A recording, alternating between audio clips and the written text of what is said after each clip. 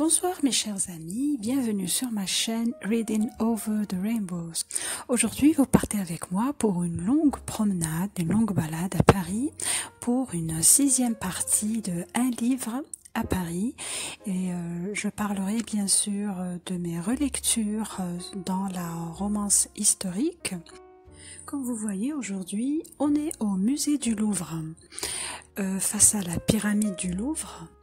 Euh, par contre aujourd'hui, on va pas faire une visite thématique des œuvres au niveau du Louvre, on fera ça dans, un, dans une prochaine vidéo quand je ferai un programme bien spécifique. On fera plutôt les extérieurs, donc on va, euh, on est là face à, la pyramide du Louvre et vous allez voir aussi l'arc de triomphe du carrousel euh, du Louvre qui est juste devant. On visitera aussi, comme vous voyez, les, euh, jardins des Tuileries.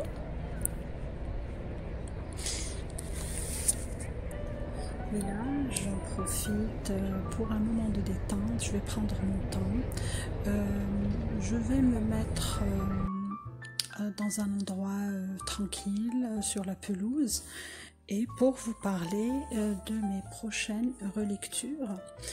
J'ai décidé de relire les livres de Julie Garoud et, là je vous présente un ravisseur sans scrupules. Et, et l'histoire de ces livres, c'est que le baron Hainsworth, lorsqu'il s'agit de marier ses filles, il, ne, il demande l'avis de personne. Euh, et, comme il veut conforter ses alliances en Écosse, c'est ainsi que Brenna est promise au riche McNair, un homme qu'elle n'a jamais vu. Et pas question de discuter, donc son père lui laisse à peine le temps de faire ses malles et la voilà expédiée sous bonne escorte dans les Highlands.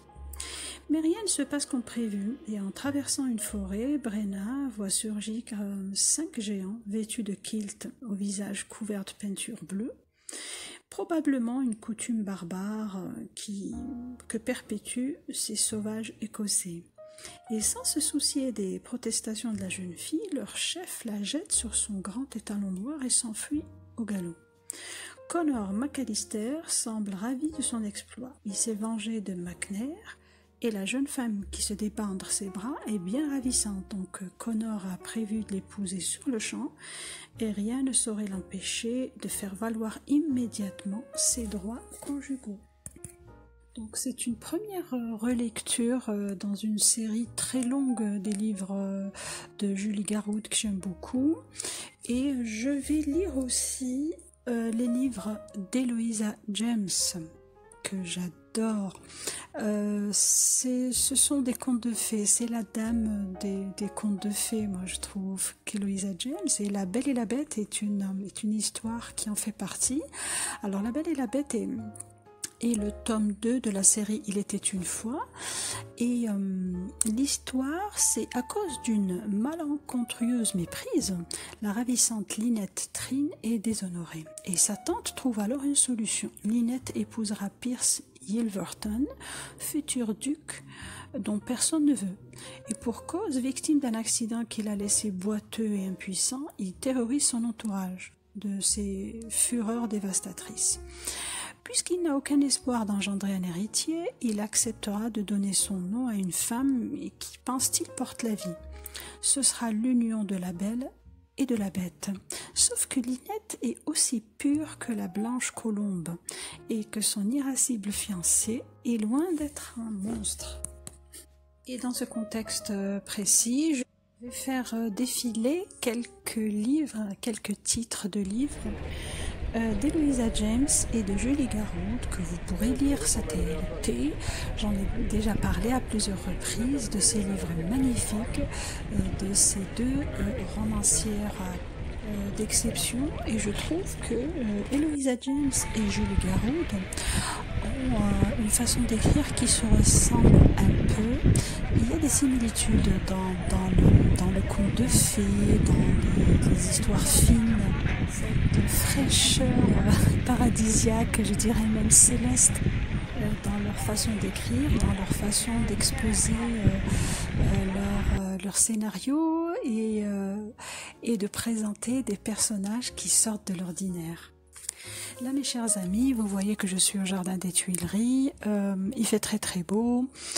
Euh, là au fond, vous voyez l'arc de triomphe et euh, bien sûr au-delà les Champs-Élysées. Mais aujourd'hui, on va s'arrêter là. Je ferai cette balade une autre fois. Je vais sortir des jardins des Tuileries pour aller vers la rue de Rivoli et je voudrais aller euh, à la librairie euh, Galignani que vous connaissez peut-être. C'est une librairie euh, assez spéciale où, où, vous pouvez trouver toutes les nouvelles sorties dans la romance historique, la romance contemporaine. Il y a beaucoup euh, de fantasy romance et c'est ce qui m'intéresse cette fois-ci parce que je compte vous faire une euh, vidéo ou plusieurs vidéos sur, euh, sur ce thème-là. On m'a demandé de parler de la fantasy romance et de certaines romancières comme Jennifer Armentrout, il y a aussi Sarah Gimas et bien d'autres que je vais vous faire découvrir au fur et à mesure de euh, ma lecture durant tout l'été. Et comme vous voyez, mes chers amis, il y a plusieurs livres que je vous ai déjà présentés, comme The Love Hypothesis, The Spanish Love Deception, que j'aime beaucoup. Il y a aussi euh, The Sea of Tranquility, euh, que je vous ai présenté la dernière fois. Ce sont des livres d'exception. Il y a des livres de véritables classiques de la romance. Il y a aussi des livres qui sortent de l'ordinaire et qui, nous donnent à réfléchir de plus en plus. Et c'est très très intéressant. Voilà mes chers amis, ma balade d'aujourd'hui est terminée à Paris. Euh, j'espère que ça vous a plu. Si vous avez aimé ma vidéo, likez-la et abonnez-vous. Et je vous dis au revoir et bonne lecture.